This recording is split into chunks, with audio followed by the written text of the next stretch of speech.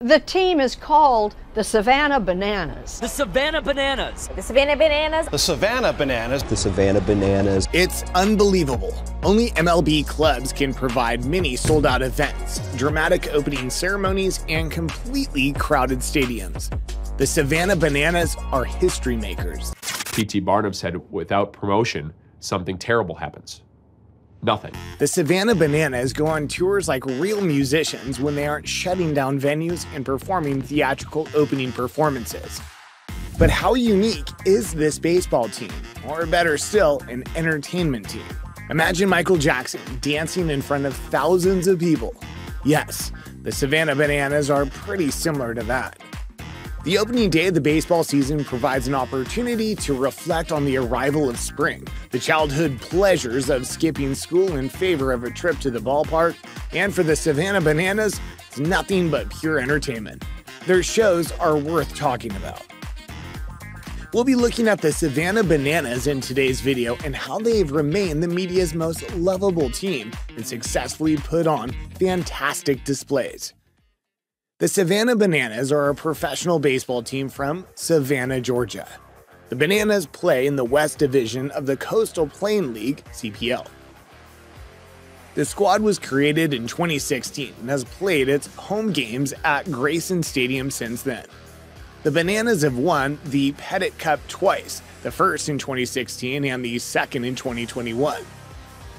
Since the debut season in Savannah, the team has sold out every game and every location on the Banana Ball World Tour, reaching over 150 sellouts.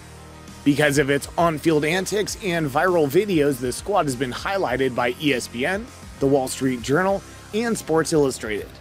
In 2016 and 2017, the Bananas were named the league's Organization of the Year. The crowd outside the main gate gradually thins away, allowing a cheering band to lead the home squad, dressed in bright yellow jerseys, through a raucous, high fiving gauntlet. Banana Land is the home of baseball's most outlandish and hilarious club.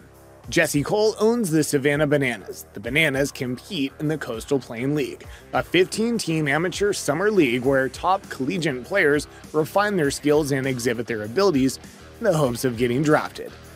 Cole purchased the team while it was known as the Savannah Sand Gnats, and it was a minor league affiliate of the New York Mets in October 2015.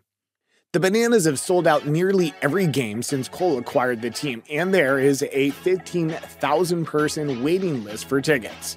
A 1,200 name list of persons who wish to play or work for this squad is also available.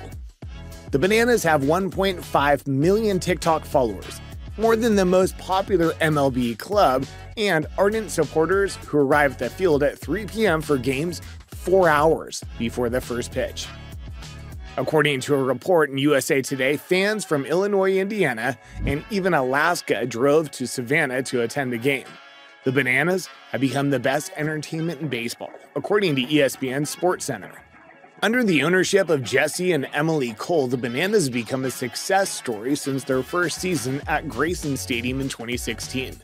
The club has established multiple Coastal Plain League attendance records and is now in the middle of a 73 game sellout streak that began in its rookie season. With all the Bananas' remaining home games sold out, the team is on course to extend its winning run to 88 games by the end of the regular season. The Bananas have offered fans an energetic game day atmosphere that emphasizes entertainment since they replaced the Savannah Sand Gnats at Grayson Stadium. Baseball purists don't love what we do, but we're not for them. We're for people that want to come out and have fun. Jesse Cole remarked, If we're a live television program and that's what we want to be, we're Saturday Night Live, says the cast. Every night is different and we never know what to expect. People may make or make mistakes and we enjoy it because it's realistic. Every time we open the gates, we try to be real and bring the pleasure back to the ballpark. So when fans come out and see the players having a good time, they see the personnel having a good time, and they see us, the owners, having a good time, they embrace it. The important thing to remember is that unlike lower league and even major league clubs, we and the fans are all in this together. In terms of price and income, it's not us versus them, it's all for one and one for all.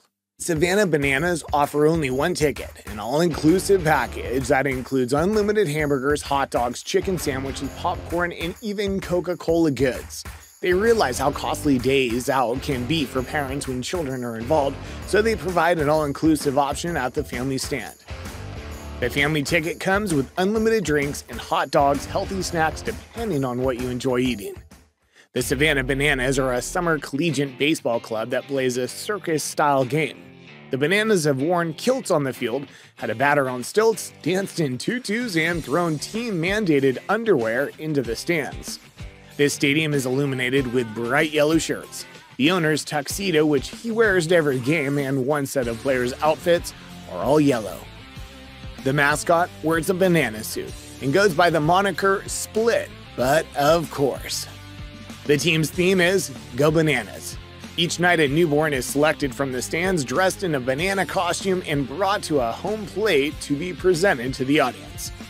It's challenging to pick out the craziest among the numerous bizarre happenings. On the other hand, sending a batter to the plate while wearing stilts may be the winner. The opposing catcher is seen in a photograph with his glove extended far over his head. Either he wants the pitcher to keep the ball low in the strike zone, or he can't reach any higher. Players in the big leagues have songs played when they approach the plate. In Savannah, the players each bring a microphone and introduce themselves. I don't think they sing when they walk up to the plate. In recent years, Big League Baseball has experimented with a variety of gimmicks in an attempt to shorten games. The most obvious of them is starting extra innings with a runner on second base. The Savannah Bananas baseball team are one part traveling carnival, one part Harlem Globetrotters, theatrics, and one part neighborhood bar, where everybody knows your name, according to JJ Cooper of Baseball America. Their banana ball style of play features pitching, hitting, and fielding are all similar to baseball, but everything is geared toward making the game faster, more interesting, and ensuring that there is never a dull moment. Games last no more than 2 hours and 10 minutes and are frequently completed in under 2 hours. Those players, however, are Bananas' hidden weapons. The Bananas have managed to combine the between innings festivities with the game on the field by forming teams of players who actively want to be part of the spectacle. It allows the Bananas to build a distinctive brand that is not easily replicated, much like the Globetrotters. The Bananas 2025 vision includes plans for a Bananas brewery and a 1926 speakeasy bar at Grayson Stadium. It sets out the plan for the club to hit the road in the spring and bring the baseball circus to other towns. It mentions Savannah's lack of off-season and holding seasonal games such as Oktoberfest, Halloween, Thanksgiving, Christmas, New Year's Eve, and a St. Patrick's Day weekend series. It proclaims that the team will be recognized as the greatest place to work on a continuous basis. That'll bring together the best individuals to serve the fans. According to the team, fans should expect a steady stream of announcements as the 2025 vision takes shape. The second annual Fans Giving game is already sold out, and preparations for a possible spring series are in the works. Grayson Stadium's contract with the city of Savannah has been renewed for at least five years, and most likely 10 years. Historic Grayson Stadium will get $2.5 million from the impending SPLOST, which will be utilized to modernize the stadium. Everyone seems to be enjoying adding fun to baseball nowadays, and it's evident that the Savannah Bananas are up to the task, implying they will undoubtedly get more admirers and attention in the next few years. They're creating something new, loved by everyone. Soon, they'd be all over the world and on everyone's screens. Check out Baseball Plus for even more amazing baseball videos.